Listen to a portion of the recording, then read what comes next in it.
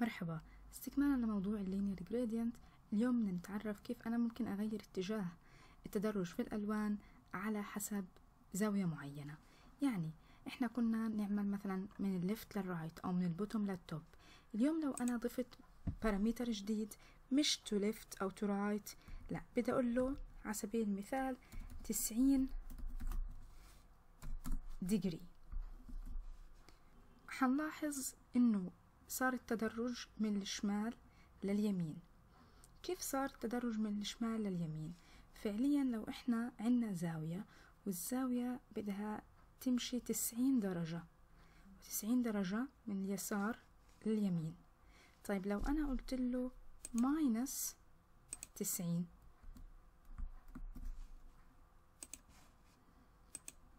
حنلاحظ إنه اتجاه اختلف. لأنه بالسالب. لو أنا بدي أقول له مثلا مية وتلاتين.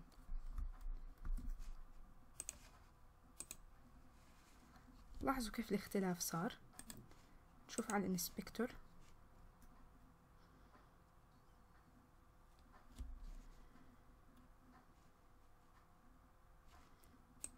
هاي المية وتلاتين.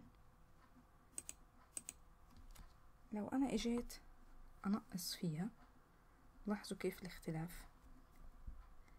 كيف قاعد بصير تغير التدرج.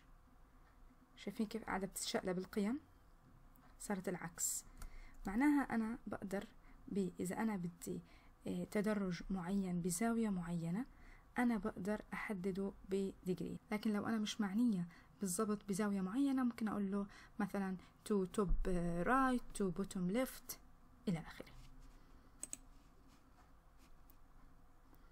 طيب. لو رجعنا لل background image هاي اللي كانت فيها to left يعني من right to left هاي بدا من الكحلي هنا وبعدين راح للأصفر. وإجيت قلت له إنه أنا عندي الكحلة أو الأزرق هذا بدي ستين في المية من التدرج. هنا سبعين في المية. هنا تمانين في المية. وهنا تسعين في المية من التدرج. وهنا مية في المية. شوف على الإنسبكتور. ستين في المية من التدرج كان من نصيب اللون الأزرق. بعد هيك العشرة في المية اللي إجت هنا كانت هي هذا الموف تقريبا بعد هيك الأورنج بعد هيك الأصفر في النهاية. بقدر أحدد قديش في المية من قديش نسبة من التدرج ممكن ياخد لون معين.